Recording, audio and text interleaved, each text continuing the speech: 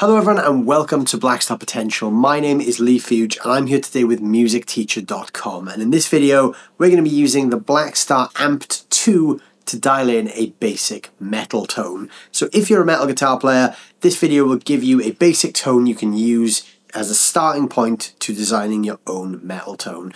This can be tweaked to your own preferences and we can also go between a British and an American style metal tone with a very simple EQ adjustment. We're primarily going to be focusing on more of a traditional or classic metal sound rather than a modern metal sound. So if you're a fan of 80s metal bands like Metallica or Iron Maiden or any of those kind of bands, this will be a great starting point for you designing your own metal tone.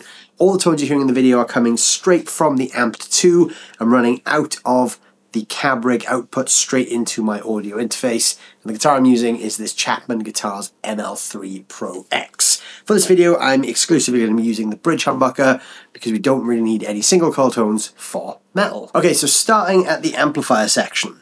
I'm using a 6L6 response for this because we want that slightly scooped mid-range. That's great for metal because a 6L6 response gives you a really tight low end and a really present high end, but it slightly scoops the mids out. I'm using the classic voice here. The USA and UK voices have less gain on tap than the classic voice, so I've gone for that one, which as you can see here, the gain is completely dimed. I've got the bass and the treble set to around 1.30 to 2 o'clock, and the mid I've got dialed back to about 10 o'clock. Now this is where we can go between a British and an American sound. So in the current state, we've got pronounced lows and highs, but not much mid. So in that case, we're going to get a bit more of a scooped metal sound. So this will give you more of an American sound.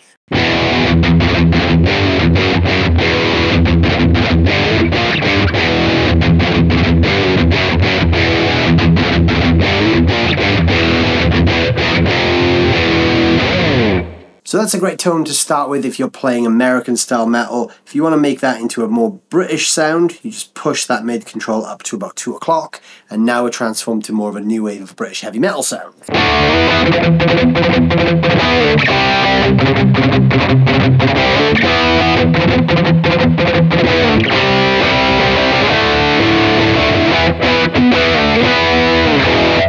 Once you've got your amp sound dialed in, you can then add a little bit more gain and tightness to it by using the drive section. So I'm using the overdrive selection here on the three position toggle switch.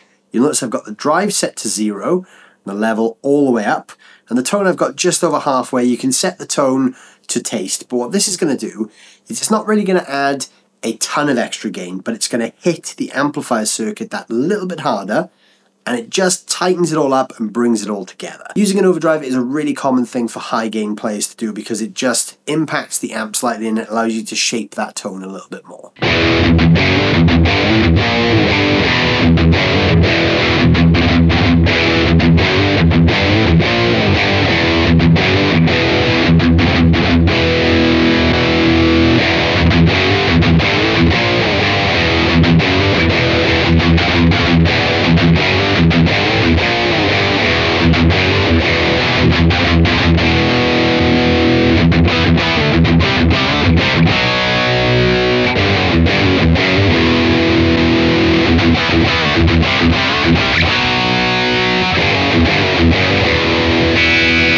You can hear the way that using an overdrive just tightens it up and it adds a little more presence to the sound as well.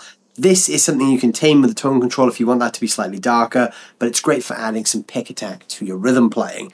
We can also combine the drive, which is boosting the amp, with a very, very subtle chorus. So I've got the time and depth set very, very low because we don't really want this to be very audible, and I've got the mix set to somewhere around about 10 o'clock just for a slight blend. What this will do is the chorus will create a doubling effect, which will give our rhythm sound a sort of fake double tracked feel.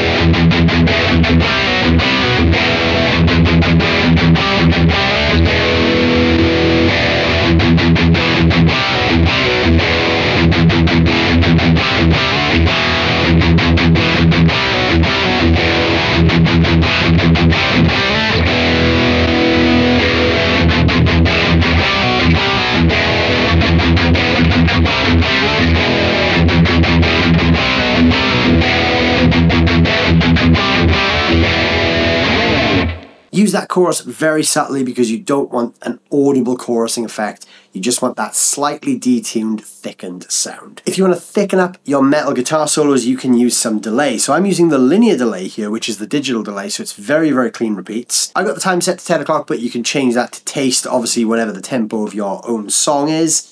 Feedback I've got quite low because I don't want many repeats, and the level is also very low. So repeat-wise, there's very little going on here. Kind of just one really audible repeat, and then one very faint repeat. So if I'm playing a lead line without delay, it sounds like this.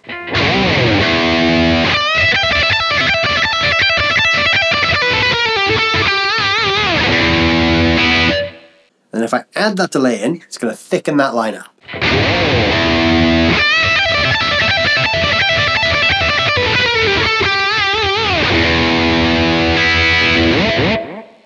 Then, if I want to go for the ultimate 80s lead cone, I can add that chorus back.